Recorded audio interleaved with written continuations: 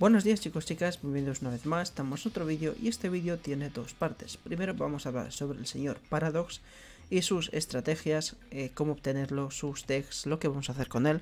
Y luego la segunda parte va a estar centrada en las actualizaciones de septiembre. Eh, y en el nuevo mundo. Ya nos han avisado sobre el nuevo mundo, ya tenemos fechas más o menos cuando va a venir, entonces estaros atentos. Y nada, eso, el vídeo tiene dos partes. Miráis una parte o miráis la otra, vais pasando para adelante como queráis. Bien, el señor Paradox. El señor Paradox es el nuevo personaje, el último que han sacado. Se puede obtener en su evento y ya nos han dicho cómo. Básicamente necesitamos 2.100.000 puntos. Y una vez que tenemos estos puntos, le ganamos una vez, lo derrotamos aquí en el duelo este, duelo de amistad o duelos asistidos, y ya lo obtendríamos. El deck de inicio que trae no trae nada especial, o sea, es un deck con cartas aleatorias. Y nada, eso no trae nada especial. Luego las... Eh, estas son las habilidades que tiene. Mm, tiene habilidades genéricas, carga de ataque, comienzo fuerte, eh, compensación, que más tenemos? Reinicio, robo nivel alto, robo sentido oscuridad y equilibrio. Son habilidades genéricas que tienen otros personajes y bueno, y luego tiene sus habilidades especiales, que tenemos dragones maliciosos, que es con la que empieza, que básicamente nos van a meter estas 5 cartas en el deck. Dragón de la verdad, engranaje paralelo y dragón de polvo de estrellas. Aparte de eso, bueno, el malicioso, aparte de eso, dragón de polvo en el extra y malicioso dragón de la paradoja en el extra. Eh, nos van a meter todo eso y aparte mundo malicioso, cuando lo tengamos en el campo, se va a hacer indestructible. Y esto está muy guay, la verdad, está muy chula. Para empezar está muy muy bien. Eh, si quieres jugar free to play y no tienes las cartas porque no has cogido la, caja, por ejemplo es mi caso, pues esta es la que más te recomiendo.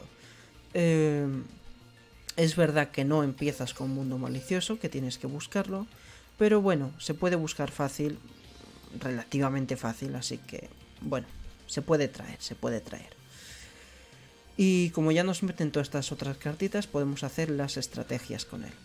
Mm, este es el primero. Luego tenemos el poder del dragón malicioso, que básicamente es... Eh, el ataque y la defensa de este señor aumenta en función de la vida que nos falte. O sea, igual la mitad de tus line, points, puntos de vida. y además de eso, pues una vez por duelo, eh, destierras un malicioso en tu cementerio, seleccionas este señor que controles. Hasta el final del próximo turno de tu adversario, la siguiente vez que fuera a ser destruido no es destruido. Entonces básicamente nos da una protección y nos aumenta su ataque. Está bien, es muy útil, pero eh, está, funciona básicamente eh, alrededor del malicioso. Luego tenemos la carta en blanco, que básicamente le quitamos un dragón sincro al contrario, lo ponemos en nuestro deck, y luego en el siguiente turno lo quitamos de nuestro deck y se lo devolvemos a él. Eh, básicamente es lo que hace, es muy circunstancial. El contrario necesita tener un sincro dragón. Si no tiene un sincro dragón en el extra, no nos sirve para nada. Entonces, no me parece tan tan útil. Solo es útil si sabes que te vas a enfrentar, por ejemplo, contra un Yusei Fudo. Porque ahí le, quitas eh, a su dragón polvo de estrellas y entonces te puede venir muy bien. Pero si no, no vale tampoco la pena. Los contrarios. Los contrarios eh, seleccionas un tipo dragón de nivel 7 superior en tu cementerio o que esté desterrado. Y luego, eh, bueno, a ver, vamos por partes. Que esté desterrado en tu cementerio. Y esta carta que tenga el nivel, ta ta ta, ta de defensa de monstruo desterrado. Añade a tu mano. Bien, os explico. Mm, básicamente seleccionas un dragón, tiene que ser dragón. Eh, el señor Paradox funciona alrededor de los dragones de nivel 7 superior, que son todos, eh, con un ataque, una defensa, un nivel. Y luego tú seleccionas eh, otra carta que tenga también el mismo ataque, misma defensa y mismo nivel. Y lo que haces es añadirlo. O sea, añades uno de ellos a tu mano y devuelves la otra a la parte inferior de tu deck extra. De tu deck o tu deck extra. Luego devuelve una carta desde tu mano a la parte inferior de tu deck. Básicamente esto sirve para reciclar. Eh, si tenemos, por ejemplo, eh, el dragón blanco de ojos azules en el, cementerio desterrado, lo podemos hacer. Devolvemos ese al deck y traemos a nuestra mano el, malicioso. Entonces con el malicioso ya podemos invocarlo, lo vamos a desterrar. Básicamente es un buscador barra eh, reciclador. Es circunstancial, pero es bastante útil también. Eh, luego tenemos mundo repleto de malicia, que es tan simple como que empezamos el duelo con mundo malicioso, no hay más. Tenemos que tener mínimo 5 cartas maliciosas, pero empezamos el duelo con mundo malicioso boca arriba. Luego tenemos eh, negocio malicioso, que básicamente devuelves una de las siguientes cartas de tu deck de extra y añades eh, un monstruo malicioso desde tu deck. Eh, también es una especie de reciclador, una especie de buscador, pero lo malo es que tienes que controlar. Entonces, devuelves una de las siguientes cartas que controles, necesitas controlar, ya sea a cualquiera de los dragones. Eh, esto lo devuelves al deck o al deck y traes a su parte maliciosa. Y esa parte maliciosa, pues ya la puedes invocar. Un segundito. Y estamos de vuelta. Mmm esto puede venir bien si tienes un deck centrado, por ejemplo, en dragón blanco de ojos azules. Eh, entonces pues puedes utilizar esta habilidad de, bueno, envías a tu dragón blanco que lo has sacado de manera rápida a tu deck y buscas a tu malicioso. Es así un poco lo que se me ocurre. Y luego las demás nada, iríamos a territorio de malicia, que es una carta, una habilidad que está muy muy bien. Y básicamente devuelves una carta maliciosa al deck desde tu mano y añades un territorio malicioso a tu mano desde fuera del deck. ¿Y qué hace parte de eso? Pues te pone un mundo malicioso debajo. O sea, la última carta de tu deck va a ser un mundo malicioso. Pero lo bueno de esto es que tú vas a empezar tu mano con cartas maliciosas. Entonces una de ellas la devuelves al deck, añades territorio malicioso a tu mano, activas territorio y automáticamente cuando invocas territorio al activarlo, pues se pone mundo malicioso boca arriba. Entonces en tu primer turno puedes tener, de hecho vas a tener territorio malicioso y mundo malicioso. Y con esto ya eres prácticamente indestructible. Por el simple hecho de, bueno, mundo malicioso no hace mucho, aparte de que te falta tener la boca arriba, lo único que hace es un buscador.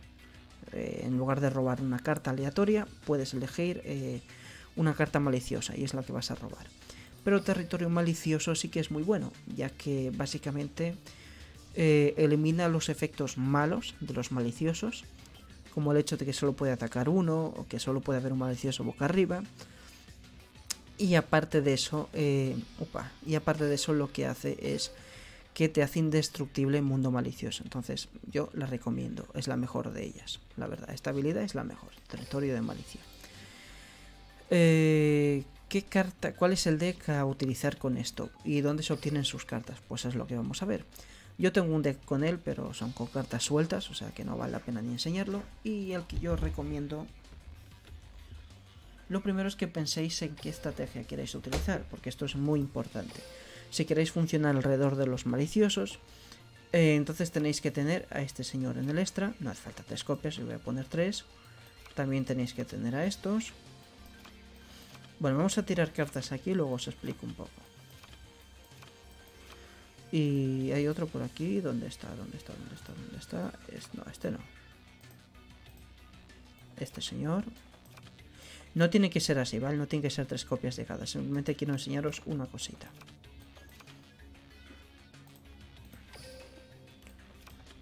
Vamos a hacerlo así, un poco rápido y listo. Bien, si queréis funcionar alrededor de los maliciosos, necesitáis tener más o menos esto en tema de monstruos. Y luego en tema de mágicas, por supuesto que necesitaríais tener estas cartitas. Bien, si utilizáis la habilidad que os he dicho, esa última, eh, estas cartas las vais a limitar, no vais a meter tres copias porque ya vais a empezar con una gracias a la habilidad, una que vais a sacar.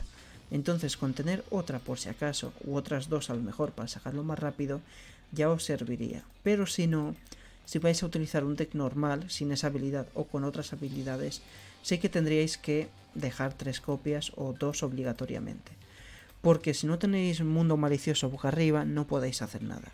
Y esta, aparte de ser un buscador, también es un protector y os permite tener más maliciosos. Entonces es importante tener estas cartas.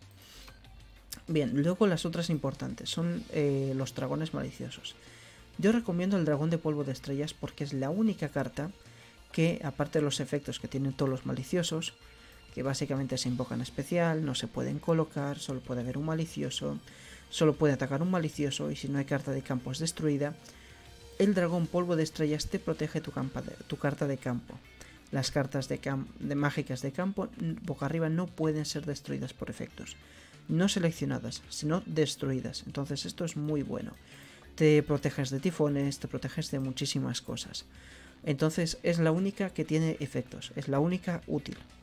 Eh, entonces por eso recomiendo tener tres copias de él sí o sí. Como tenéis tres copias vais a necesitar eh, tres polvos de estrella aquí en el extra. da igual la versión que sea esta u otra, eso no importa. Y luego, pues como he dicho, depende alrededor de lo que funcionéis. Tenéis sincros, podéis hacer sincros de 10, por ejemplo, con esta carta, eh, que es una carta muy buena y se busca muy rápido con estos. O si ya la tenéis en mano, perfecto, podéis hacer sincros desde la mano, ponéis a este señor en campo y ya podéis hacer una sincro sin falta de invocar a este señor.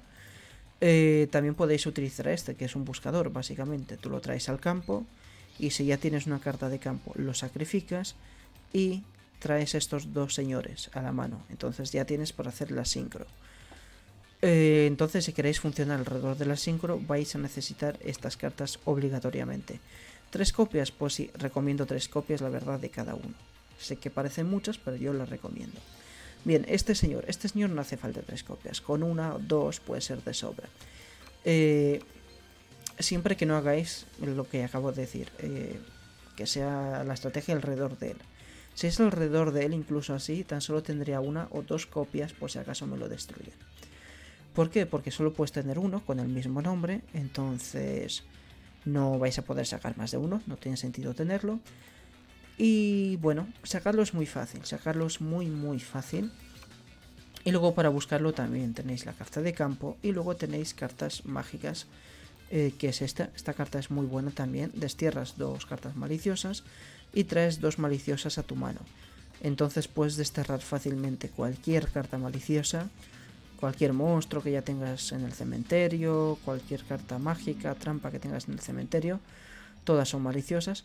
Entonces tú las destierras y automáticamente lo puedes buscar, o sea, se busca muy fácil. Si tu estrategia es alrededor de él, pues sí, tendréis que tener dos o tres copias de esta carta. Y poco más, porque él no tiene más combos, simplemente sacarlo a él y ya está. Y sobrevivir como puedas. Y luego tenemos este otro señor, dragón, eh, malicioso dragón del eh, paradigma. Esta es muy buena y lo que hace es, por ejemplo, bueno, por ejemplo no, lo que hace es que eh, en lugar de sacar a estos sincros, podéis sacar a este señor desterrando un sincro. Mm, desterrando un monstruo de tu deck extra. Entonces destierras uno de estos maliciosos y puedes traerlo a él. Lo mismo, no haría falta tres copias porque solo podéis tener uno, pero bueno, he puesto tres para que veáis un poco. Tenéis buscadores, entonces por eso digo no hace falta tres, dos copias sí las podríais dejar y listo. Entonces podríais traerlo en lugar de estos señores. Podéis combinarlo, podéis tener una copia de él y una copia de él también, no pasa nada. Son complementarios uno con el otro. ¿Qué más cositas comentaros? Eh, comentaros las cartas mágicas y trampas, son muy buenas. Estas básicamente te destruyen cualquier monstruo si tienes un malicioso, que lo vas a hacer. Y esto es un buscador muy bueno, descartas dos maliciosos en tu cementerio y a cambio puedes buscar maliciosos, entonces está muy muy bien. Luego, pues bueno, tienes cartas circunstanciales, está por, por ejemplo, si algún malicioso tuyo es destruido, robas dos cartas y tiene más efectos. Eh, esta seleccionas un malicioso en tu cementerio y lo invocas especial, también es muy bueno. Puedes traerlo para salvarte en algún momento, para hacer alguna sincro rápida. Mm, está muy bien. Básicamente este puedes utilizarlo para hacer cualquier sincro, no hace falta maliciosos. Simplemente que si utilizas maliciosos puedes hacer la sincro desde la mano. Entonces esa es la ventaja que tiene.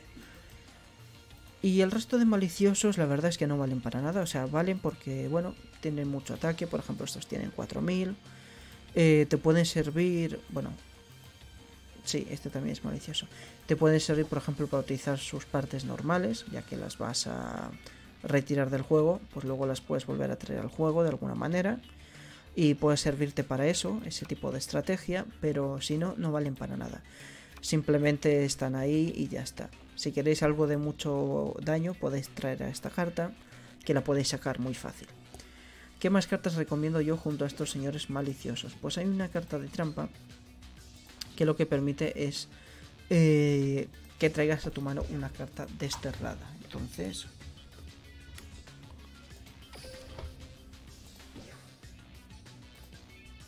desterrada es con dos Ds.